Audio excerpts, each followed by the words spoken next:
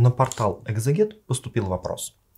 Почему Россия считается хранительницей православия? На этот вопрос э, мы можем ответить с двух позиций. Собственно, с исторической ответ предельно понятен. Э, у православия, как у конкретной христианской конфессии, сложная развернутая история. Э, но на определенном этапе целый ряд исторических православных церквей вступил в серьезнейший кризис.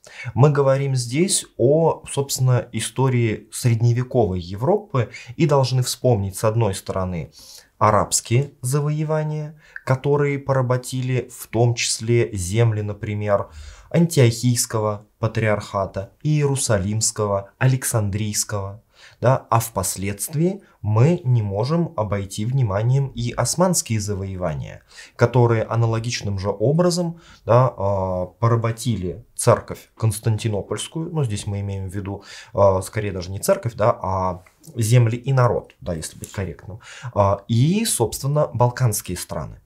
То есть на определенном этапе, собственно, Московская Русь осталась единственным свободным крупным государством, которое спокойно и безбоязненно исповедовало православную веру. Таким образом, а, в нашей культуре совершенно четко сформировался паттерн, совершенно четко сформировалось утверждение и мысль о том, что мы являемся хранителями православия. В историческом смысле это вполне понятное утверждение. Но кроме истории, у этого вопроса есть еще и серьезная богословская подоплека. И вот здесь нам важно иметь в виду, что э, на самом деле с богословской именно точки зрения ни одна страна, ни одна культура не может быть универсальным и всегдашним хранителем истинной веры.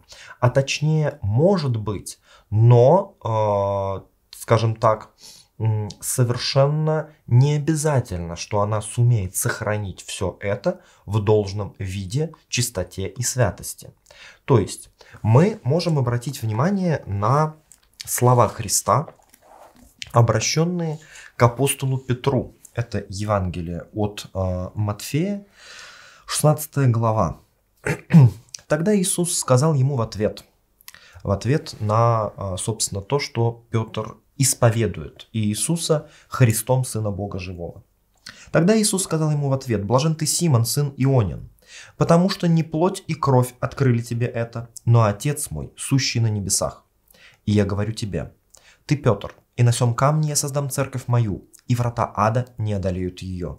И дам тебе ключи Царства Небесного, и что свяжешь на земле, то будет связано на небесах, и что разрешишь на земле, то будет разрешено на небесах.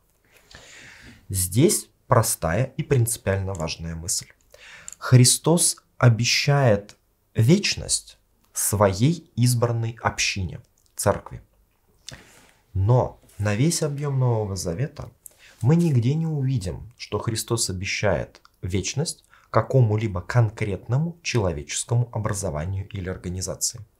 Ни государству, ни каким-либо конкретным общинам, а церкви как таковой – от века в век в разных народах, в разных исторических ситуациях и обстоятельствах Церковь Христова продолжает свое существование.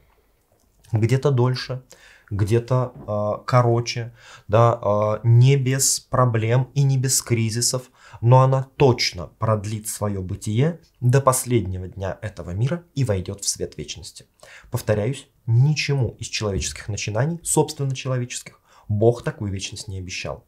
Более того, нам нужно крайне осторожно относиться к подобного рода мысли, да, про то, что мы некие уникальные хранители, да, нам даны какие-то особенные обетования и какая-то особая от Бога к этому благодать, а, просто на примере единственного нормативно действительно избранного Богом народа, на примере народа израильского. Мы можем обратить внимание на начальные главы книги Бытия, а именно 12 глава, где Бог обращается к Аврааму и говорит совершенно удивительные вещи. «Я произведу от тебя великий народ, и благословлю тебя, и возвеличу имя твое, и будешь ты в благословлении.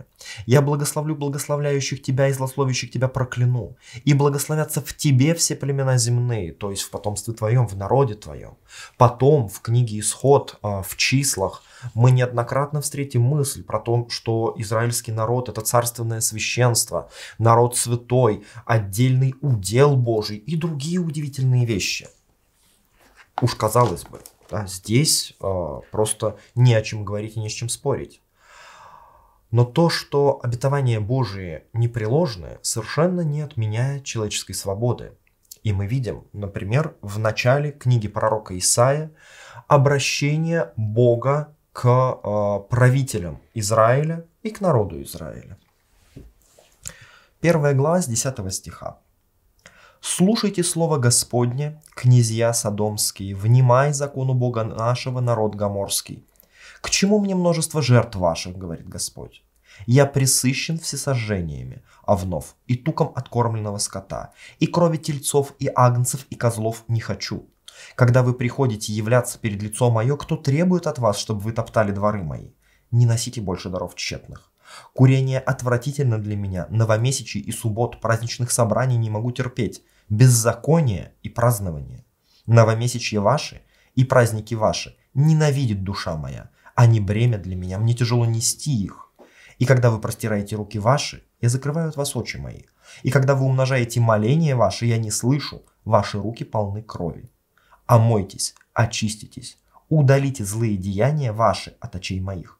Перестаньте делать зло. Научитесь делать добро, ищите правды. Спасайте угнетенного, защищайте сироту, вступайтесь за вдову. Тогда придете и рассудим, говорит Господь. Если будут грехи ваши, как багряные, как снег убелю.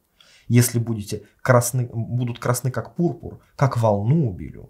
Если захотите и послушаетесь, то будете вкушать благо земли.